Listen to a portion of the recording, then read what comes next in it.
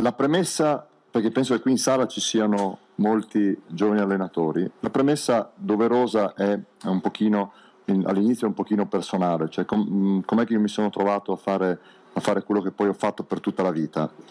Uh, io ho subito il fascino uh, di un allenatore di settore giovanile per cui giocavo quando avevo 14, 15, 16 anni nelle giovanili della, della Reyer Venezia.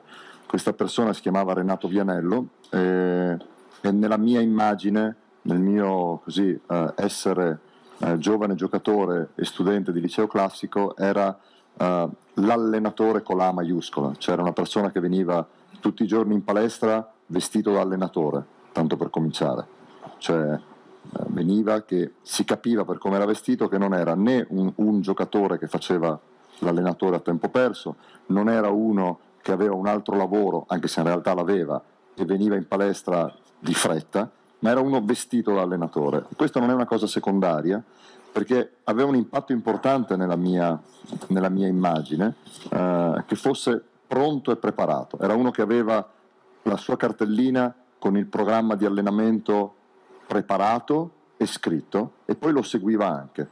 Ed era uno che ci correggeva, ed era uno che per un qualsiasi, per, per, insomma, per motivi che non sono in grado magari di di spiegare in profondità, era uno per cui ci saremmo buttati nel fuoco, nel senso che eh, era una parte importante di tutti noi ragazzi. Noi eravamo a Venezia, io mi ricordo abitavo a Mestre con la mia famiglia e tutti i giorni andavo a fare allenamento alla palestra della Misericordia, parliamo degli anni, eh, della sec- inizio anni 70, eh, metà degli anni 70.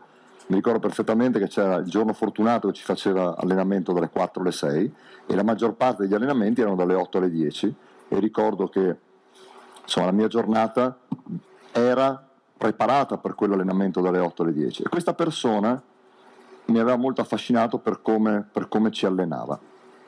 Uh, da ragazzo avevo 16-17 anni, giocavo nel settore giovanile della Reyer Venezia, ho cominciato a aiutare un altro allenatore del settore giovanile che era di Mestre e quindi faceva anche lui su e giù come me, il quale allenava i gruppi ancora più giovani e soprattutto allenava anche il nostro mini basket e andavo in palestra con loro.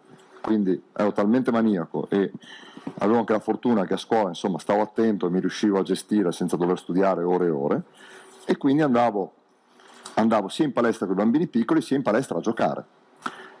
La, è noto, credo, per chi di voi segue un po' la, insomma, le vicende della pallacanestro, magari l'avrà letto dieci volte, mi scuso se ripeto una storia. Eh? Quando ho 17 anni, eh, una, una, partita di finale regionale che giochiamo alla Misericordia, sbaglio due tiri liberi a tempo scaduto, il sogno di tutti noi ragazzini di fare questi canestri che ti cambiano la vita. Io invece vado in lunetta, faccio 0 su 2, clang clang, perdiamo di un punto. L'indomani a scuola il il famoso Tonino Zorzi, che era allenatore della, squadra, della prima squadra, mi fa chiamare dal bidello, mi fa un culo così in dialetto goriziano dicendomi quanto sfigato ero, che avevo sbagliato i due tiri liberi, questo e quell'altro. Mi ricordo come fosse adesso, era maggio, se, mi, se penso alla scena mi viene ancora da piangere. E, e poi alla fine mi dice, senti, eh, tu sei uno che non diventerà mai un giocatore, grazie. E, sai, allora mi consolavo perché allora c'era A1, A2, B, C. Quindi se ti dice non sei un giocatore, se ti dicono adesso che non diventerai mai un giocatore è un casino, perché ci sono 18 serie e che uno non trovi posto in una delle 18 serie è abbastanza grave. Allora con 4-5 serie ti dice che non ce la fai, vabbè. E poi mi dice, però io ti ho visto lavorare in palestra con i ragazzini e secondo me tu potresti fare l'allenatore da grande e quindi se vuoi noi come società ti paghiamo tutti i corsi finché prendi la tessera per allenare. E io a 17 anni, penso un po' la stupidaggine, perché poi la mia vita è stata una vita fortunata da un punto di vista professionale, eccetera, eccetera, quindi, però io poi ho smesso di giocare.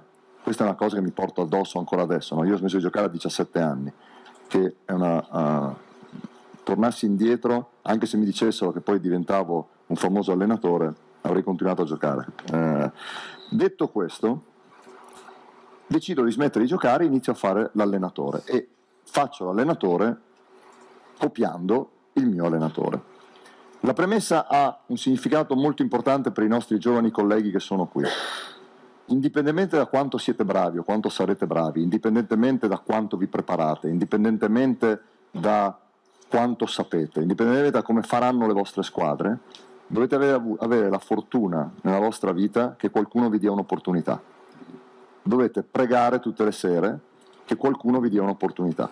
Io ho avuto la fortuna indiscussa e immeritata che a 17 anni Tonino Zorzi mi ha fatto diventare un allenatore, cioè la Reyer Venezia mi pagò i corsi allenatori per sei anni, bene, fino ad arrivare al corso allenatori nazionale, per prendere la tessera. E mi fece allenare a 17 anni la squadra dei ragazzi di 14 anni, che se ci pensate è una bestemmia. È, è contro qualsiasi manuale etico di crescita dei giovani fanciulli che tu a 17 anni possa allenare i ragazzi di 14, perché non ne hai le competenze umane, non, so, non, non quelle tecniche. A 30 anni, per motivi casuali, mi hanno fatto allenare la Virtus Bologna, con gente come Bruna Monti a, a giocare. A 33 anni, per altri motivi non ben chiari, mi hanno fatto allenare la nazionale, il presidente della federazione mi ha fatto allenare la nazionale e così via.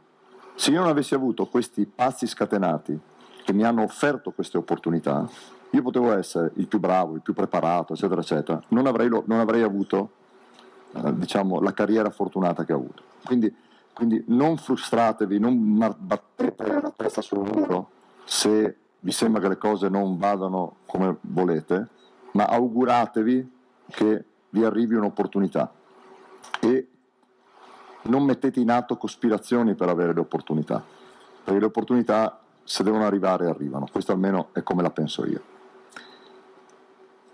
Passo avanti. Che cosa mi ha aiutato il mio allenatore? Il mio allenatore mi ha fatto capire fin dall'inizio, lui e